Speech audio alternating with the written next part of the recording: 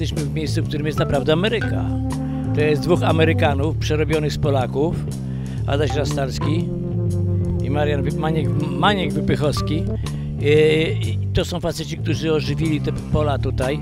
Druga impreza to jest, panowie. Dzisiaj otwierała ją pani burmistrz Milicza i powiedziała, że jest zachwycona. Zastrzeżeń raczej nie ma. Jest wszystko fajnie, pozytywnie. Auta się, auta do nam przepisują, dopisują.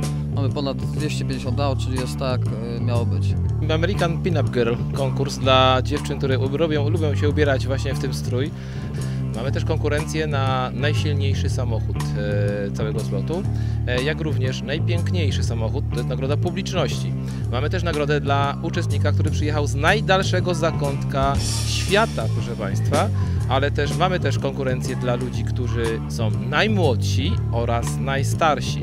Także serdecznie zapraszamy wszystkich, którzy by chcieli u nas e, uczestniczyć w takich konkurencjach do wzięcia udziału. Jest tyle tych aut, że o rany boskie. Więc kochani, gratulacje za, wspaniałą imprezę. Y, Do zobaczenia za rok. Ja myślę, że już w tym momencie będziemy się starać i organizować imprezę, która będzie 2015. Adaś, potwierdzasz? Jak najbardziej.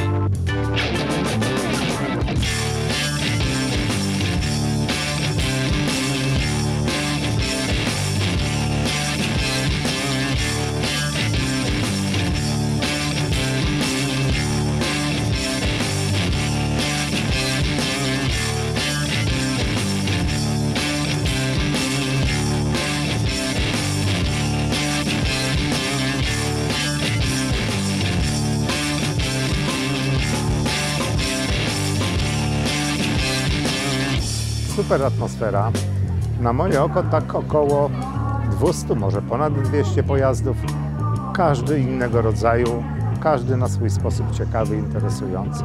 Z tych nowych piękne korwety na przykład, a z tych starych super Cadillaki, śliczne auta. My jako właśnie Stowarzyszenie Ogólnopolskie, kierowca.pl, staramy się prowadzić, w cudzysłowie, prowadzić takiego mm, przyszłego członka, uczestnika ruchu od początku do końca, czyli od momentu zakupu auta poprzez jego ubezpieczenia, aż wreszcie do ostatniej fazy, kiedy już zmieniono właściciela. Aby się zarejestrować, wystarczy wejść na naszą stronę www.kierowca.pl i tam już krok po kroku można wszystkiego, wszystkich formalności dokonać.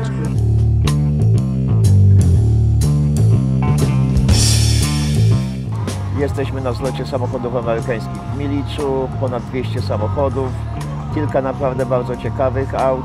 Jest na przykład y, Plymouth Barracuda y, z roku 1972, który ma wstawiony silnik od współczesnego samochodu Viper. Dużo pracy, naprawdę fajny temat. Y, Jest korweta z 73 roku przystosowana do wyścigi na 1 czwartą mili, też z podniesionym z tylnym zawieszeniem, z przerobionym silnikiem i tak dalej, i tak dalej. Naprawdę warto zobaczyć. Do tego jest naprawdę kilku wspaniałych ludzi, którzy się zajmują renowacją samochodów, którzy te samochody kochają, dopieszczają. Wrażenia są bardzo fajne. Przede wszystkim y, tutaj y, chodzi o to, żeby spotkać naprawdę ludzi, którzy mają takie same zainteresowania, y, z którymi można podyskutować, z którymi można wymienić doświadczenia, gdzie można naprawdę zdobyć część do tych samochodów. Także to jest nie tylko wystawa dla ludzi, ale także to jest impreza dla nas, gdzie my z tej imprezy naprawdę czerpiemy dużo korzyści yy, i po prostu te korzyści potem przekładają się na to, że łatwiej nam te samochody restaurować, yy, łatwiej zdobyć części, podajemy sobie kontakty i razem to wspólnie rozpracowujemy.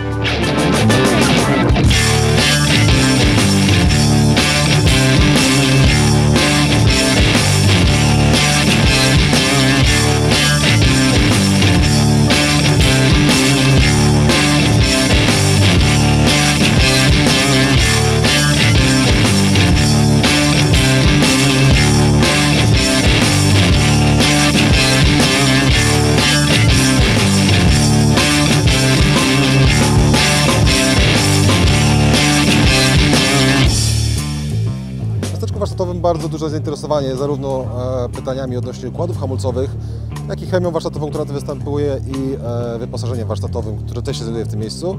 E, ludzi bardzo dużo, atmosfera bardzo miła.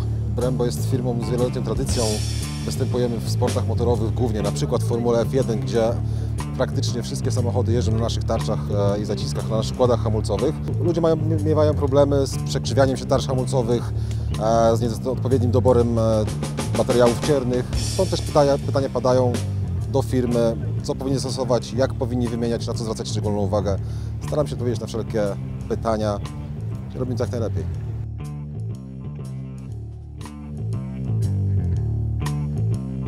Dzisiaj gościmy na American Cars Mania. Jak słychać i widać. E, no w swojej, swojej ofercie sprzętowej mamy, mamy kilka urządzeń e, do e, obsługi takich samochodów. E, wiadomo, każdy samochód amerykański to jest klimatyzacja, to jest skrzynia automatyczna. Mamy takie urządzenia, które pozwalają na obsługę tych, tych układów. W tym roku mamy, mamy dość spore zainteresowanie, dużo ludzi pyta o różne, różne rzeczy z, z naszego asortymentu, natomiast myślę, że, że w, przyszłym, w przyszłym roku się też pojawimy, bo atmosfera jest fajna, pogoda powiedzmy, że dopisuje, czasem, czasem schładza całą atmosferę deszczem, ale, ale ogólnie jest ok, no i, myślę, że się pojawimy w przyszłym roku, przynajmniej taką mam nadzieję. American Cars Mania pełną gębą się rozkręca, z, wszędzie widać e, samochody o wielkich silnikach, a tu proszę, stoisko firmy Prince, która zajmuje się instalacjami gazowymi. Panowie, przepraszam bardzo, ale czy to nie jest trochę tak, że pakowanie instalacji gazowej do silnika e, V8, V10, V12 to po prostu czysta zbrodnia? A niby dlaczego? No tak się mówi, otarł się taki stereotyp, że zdecydowanie masz silnik, to musi palić dużo paliwa. To niech pali dużo, ale nie musi palić benzyny, może palić gaz.